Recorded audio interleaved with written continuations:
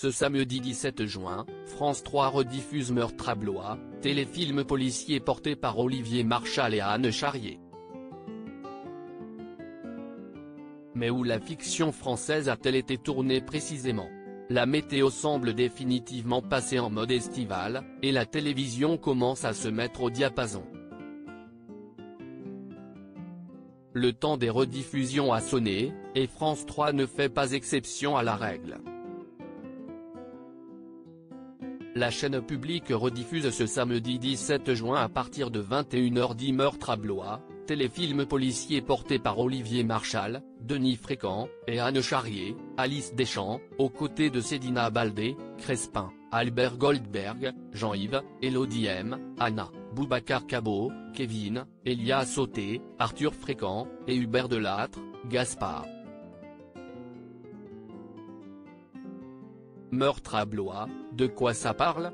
Dans Meurtre à Blois, au cours d'une reconstitution historique au château de Blois, Jean-Yves, un industriel qui incarnait Henri III, est retrouvé assassiné. Arthur, 20 ans, qui prêtait ses traits au duc de Guise, est accusé du meurtre. Ce jeune homme n'est autre que le beau-fils de la capitaine de police Alice Deschamps et le fils du commandant de police Denis Fréquent.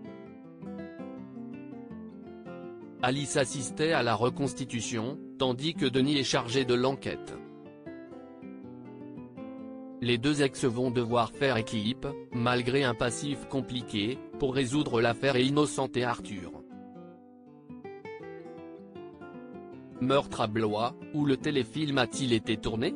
Le téléfilm Meurtre à Blois a été tourné entre le 23 février et le 19 mars 2021 dans le département du Loir-et-Cher.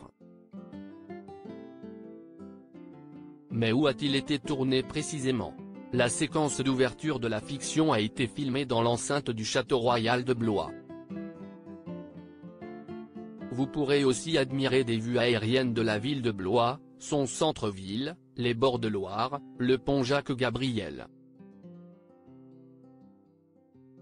Des scènes ont également eu lieu à la Maison de la Magie Robert Houdin, à la sortie du tribunal judiciaire, à l'hôpital Simone Veil. L'U de Blois a quant à lui servi à accueillir les décors du commissariat. La demeure du personnage d'Anna a été filmée au château de Grotto à Huisseau-sur-Cosson, celle de Denis à Mélan. Enfin, à Bourré, la production a posé ses caméras pour mettre en boîte des scènes devant des maisons troglodytiques.